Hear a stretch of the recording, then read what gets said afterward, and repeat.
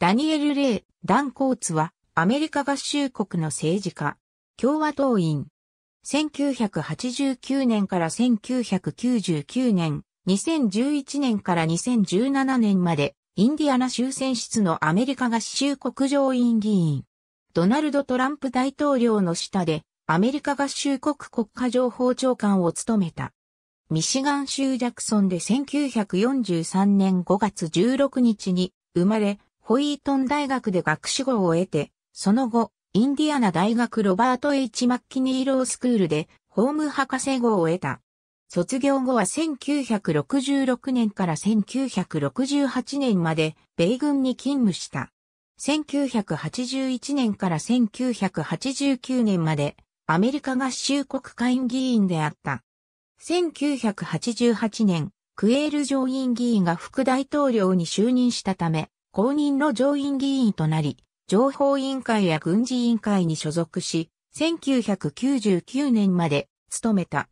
上院議員退任後は、2001年から2005年までドイツ大使となった。その後、2011年から2017年まで再び上院議員となった。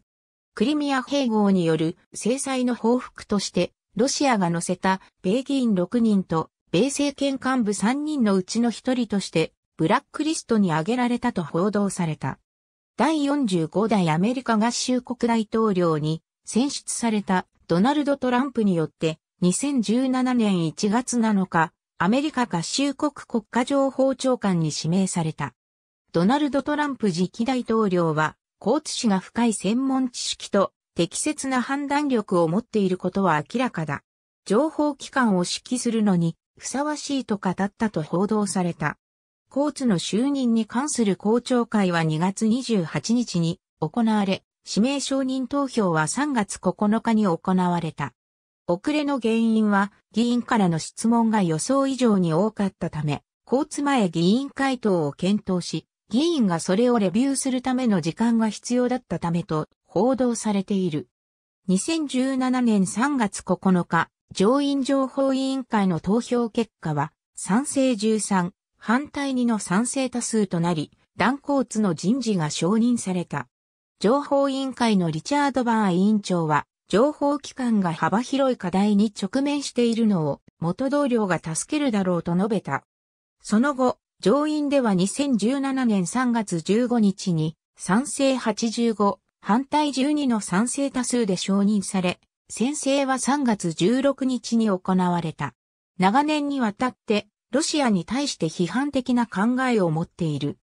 2018年、トランプ大統領がロシアのプーチン大統領と共にロシアが2016年大統領選挙に介入したことを否定したものの、コーツはこれに反旗を翻し、ロシアによる介入は明白だと声明を出した。また一方でトランプはイランの脅威の深刻さをコーツが十分に認識していないと不満を持っていたとされる。2019年7月28日、トランプはコーツが8月15日に辞任すると発表した。ありがとうございます。